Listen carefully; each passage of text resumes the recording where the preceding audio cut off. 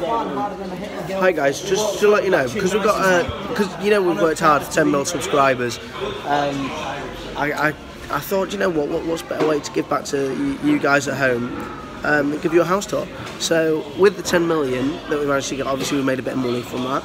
Um, I bought myself a KFC restaurant. Anyway, let's go have a look around. This is my slave. Hey. This is my bedroom.